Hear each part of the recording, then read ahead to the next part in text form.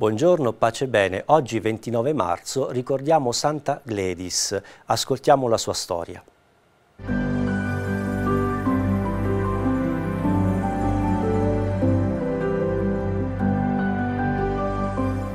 La vita di questa regina gallese, vissuta tra il V e il VI secolo, la conosciamo grazie a due racconti medievali, quella del marito San Guelli e quella del figlio San Cadoc. Gladys era la maggiore delle 24 figlie di due genitori santi.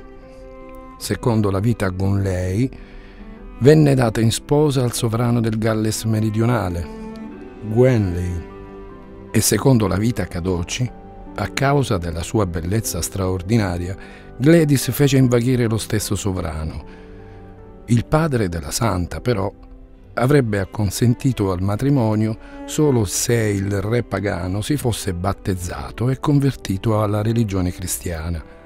Ma il re, aiutato dal re Arthur, rapì la giovane che non si oppose al rapitore perché visse la violenza subita come fosse un martirio. Nacquero diversi figli, tra cui Cadoc. La vita Cadoci inoltre descrive la non esemplarità dei primi anni del loro matrimonio, ma poi Gladys convertì Gwenley al cristianesimo, che si battezzò sposando cristianamente la regina e abbandonò per sempre le armi. Così si ritirò con la moglie in preghiera per purificare la sua anima. In una visione, Dio mostrò ai due sposi il posto dove stabilirsi. Da allora vissero in astinenza di peccato. Si bagnavano nelle gelide acque di un fiume per allontanare le tentazioni del peccato carnale. Praticavano una vita ascetica e si cibavano solo di poche erbe. Su consiglio del figlio Cadoc, per non cadere in tentazione, si allontanarono ancora di più. Gladys fondò una chiesa in onore della Vergine e morì il 29 marzo. La loro opera di evangelizzazione e cristianizzazione del Galles venne continuata dal figlio Cadoc, che in seguito sarà proclamato santo. La loro festa è il 29 marzo, data della morte di Gladys, e i loro nomi sono tutt'oggi ricordati in varie chiese e pozzi del Galles meridionale. Quello che è successo a Santa Gladys possiamo dire è un po' agghiacciante. Pensiamo, lei eh, figlia insieme ad altri 24, eh, una famiglia molto molto numerosa, bellissima e quindi cade nelle attenzioni di un altro nobile, un altro re molto molto potente.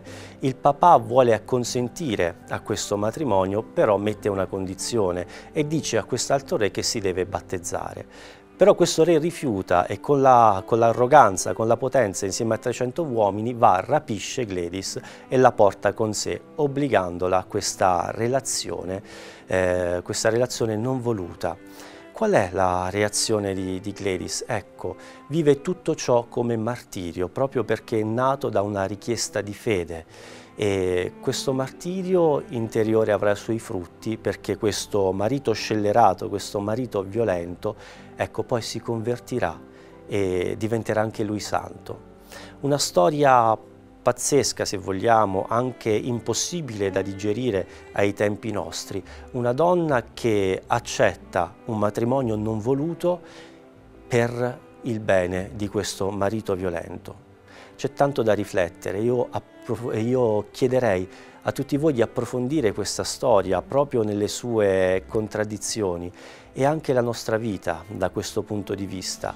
Vedete il martirio è la capacità di rinunciare a se stessi per il bene degli altri e non è semplice proprio magari in quelle situazioni nelle quali noi punteremmo i piedi e di forza esigeremo la nostra giustizia, che è una giustizia Ecco, forse in quelle situazioni quando noi rinunciamo a questa giustizia effettivamente lasciamo il potere allo Spirito Santo di operare e il nostro sacrificio agli occhi del Signore è molto prezioso. Guardiamo un po' la nostra vita da questo punto di vista e magari riusciremo a scoprire qualche situazione in cui con un piccolo nostro martirio possiamo avere veramente la chiave di svolta di alcune situazioni molto brutte per altre persone. Allora ci affidiamo all'intercessione di questa santa molto speciale. Santa Gladys, prega per noi.